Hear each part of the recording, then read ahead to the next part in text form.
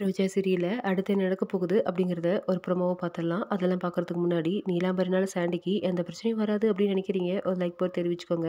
சாண்டி மேலே உச்சக்கட்ட கோபத்தோட இந்த நீலாம்பரி இருக்காங்க அப்படிங்கிற மாதிரி தான் இருக்குது ஏன்னா, இந்த மகா கேஸு எப்படி வந்து திசை திருப்பும், அர்ஜுன் சும்மா விட மாட்டான். நல்ல நல்ல பாயிண்ட்டை எடுத்து போட்டு கடைசியில என் பிஸ்னஸ்க்கு உழ வச்சுடுவான். அதனால் இந்த சாண்டியை வெளியே வச்சு முடிச்சிடணும் இப்போ எப்படி வந்து அர்ஜுன் காப்பாற்றுவான் அப்படின்னு பார்க்கலாம் அப்படின்னு சொல்லி போலீஸ்க்கும் இவங்களுக்குள்ளேயே வந்து சவால் போட்டுக்கிறாங்க.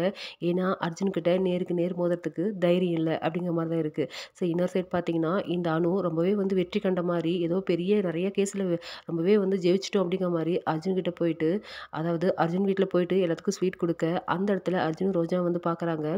இந்த அணு என்ன சொல்கிறாருன்னா இதுதான் என்னுடைய முதல் ஸ்டெப்பு. இதுக்கு மேலே தான் அடுத்தடுத்த அடி இருக்குன்னு சொல்கிறாங்க நம்ம அர்ஜுன் சொல்கிறாரு இருக்குது எல்லாத்துக்குமே ஒரு ஒருத்தரையும் வச்சு நான் தூக்க தான் போகிறேன் அப்படின்னு அவர் ஒரு பக்கம் சவால் விடுவார் சவால் நிறைந்த ரோஜா சீரியல் என்னென்ன நடக்க போகுதுன்னு பார்க்க நம்ம சேனல் சப்ஸ்கிரைப் பண்ணிக்கோங்க.